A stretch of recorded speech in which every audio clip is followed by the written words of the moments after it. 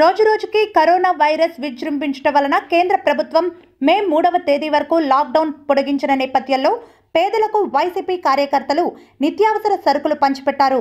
కపలేశ్వరపురం మండలం కోరుమల్లి గ్రామంకు చెందిన వైసీపీ కార్యకర్తలు బడుగు బలహీన వర్గాలకు చెందిన వారికి ఉల్లిపాయలు కాయగూరలతో కూడిన ప్యాకెట్లు మంగళవారం సాయంత్రం ఇంటింటికి తిరిగి పంచిపెట్టారు. అంబేద్కర్ జయంతి సందర్భంగా ఎస్సీ కాలనీలో గల అంబేద్కర్ విగ్రహాలకు వైసీపీ నాయకులు పూలమాలలు వేసి నివాళులర్పించారు.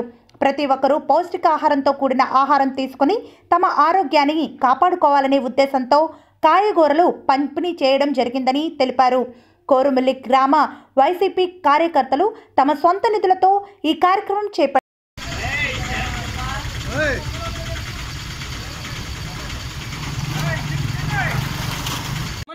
ఉల్లిపాయలు మొక్కలు. మూడు ఉన్నాయండి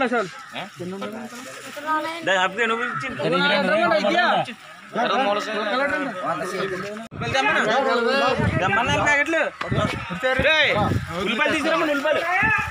ఉల్లిపాయలు. పట్టుకో పట్టుకో. ఇలా చూడమ్మా.